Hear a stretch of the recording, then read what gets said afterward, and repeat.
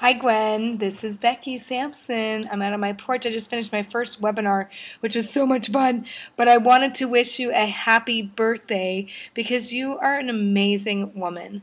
This is the coolest thing to be able to have you in my life. And I wish we had more time to spend together. But I know uh, ever since I met you and then Chad Wade and other people, you know, my life has just totally taken off. So I want to honor you on your birthday today and uh, hope you had an amazing birthday and one year older and one year wiser.